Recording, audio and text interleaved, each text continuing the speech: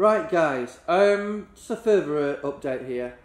So, as you know, I've pulled up all the floor leveling compound that I put down.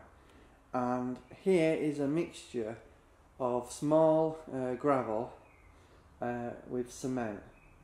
And I've had to do it all over again myself um, using cement. And uh, it's basically a small mixed mix of concrete really. Um, and as you can see it's turned out not too bad.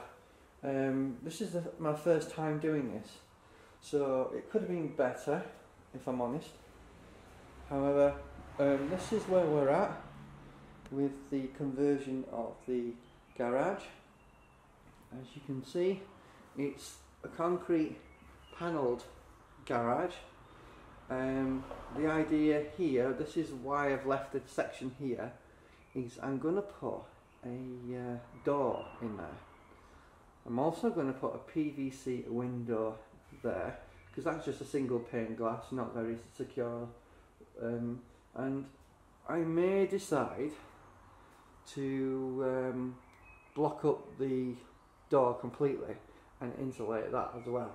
But that's a job for another time because the main priority is getting the floor built and getting our pool table installed in the room as well as having the electrics completed. So what we're going to be doing in here in terms of electrics, we're going to have a uh, two socket panel there for um, our electrics. We'll have another uh, two socket, I'm going to put a USB one here and we'll have another uh, two socket um, outlet there as well. And here, I plan on having a uh, double dimmer switch. Because what I'm going to be having here is we're going to have um, a normal, standard, typical spotlight system here. And over here I'm going to have a pool table light that will run along here.